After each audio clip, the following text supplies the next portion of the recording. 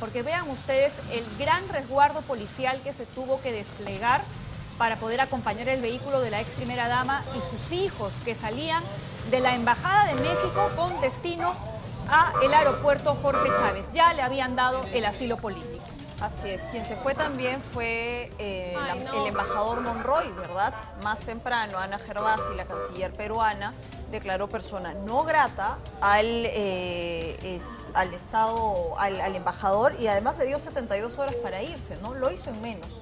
Y ahí están las imágenes que comprueban esto. Fue cerca de la 1.40 de la mañana en que Lilia Paredes e hijos abandonaron finalmente el país con dirección hacia México. Hay un video, no sé si lo vamos a colocar. Sí, sí, más adelante se ve eh, claramente eh, tanto a Lidia Paredes como con sus dos hijos ya en el mismo aeropuerto, pasando los trámites de migraciones.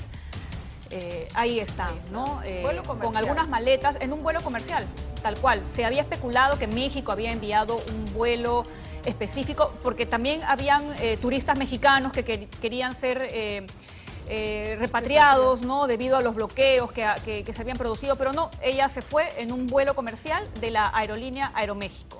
Así es. Esto se desencadenó a lo largo del día, ¿verdad? En una conferencia más temprano, cerca de las 10 eh, de la mañana, el embajador eh, mexicano confirmaba, Marcelo Ebrard confirmaba el asilo político para Lilia Paredes e hijos. Ellos estaban ya en la embajada a la espera de un salvoconducto que les permita salir del país.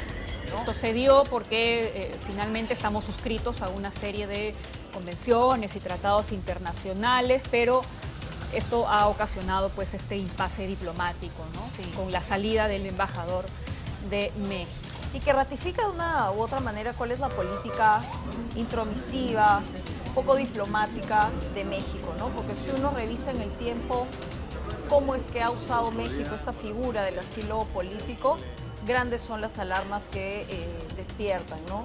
Evo Morales fue asilado también eh, políticamente eh, en este país, en medio de varias situaciones al análisis irregulares y demás. ¿Qué confirma esto?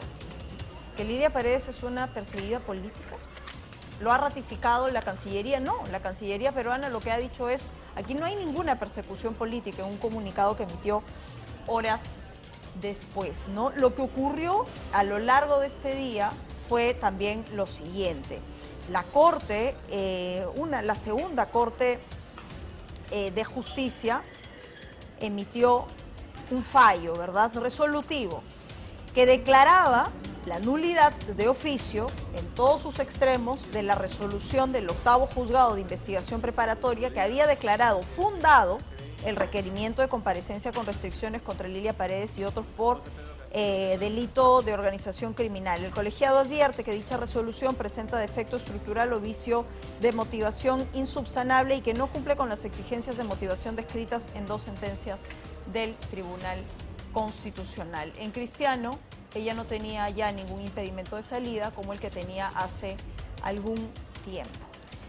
Así que vamos a ver, ¿no? Ayer le preguntábamos al ex canciller qué implicaba un asilo frente a una situación judicial, ¿no? Hay que recordar que Hugo Espino está de por medio, ¿no? Colaborador eficaz, que señalaba cuál era el papel de Lilia Paredes. ¿Cómo queda esa confesión? ¿Cómo queda esa investigación, ¿no? Sin duda hay mucho que decir, pero lo que aquí tiene que quedar claro es que persecución política ninguna, ninguna respecto de quien hasta hace 15 días era la primera dama y que en todo momento se abstuvo. Cuando le tocaba defenderse en cualquier fuero, ella decidió por el silencio, que si bien es un derecho, a la luz de los hechos, causaba pues mucha eh, crítica. Estas son las imágenes.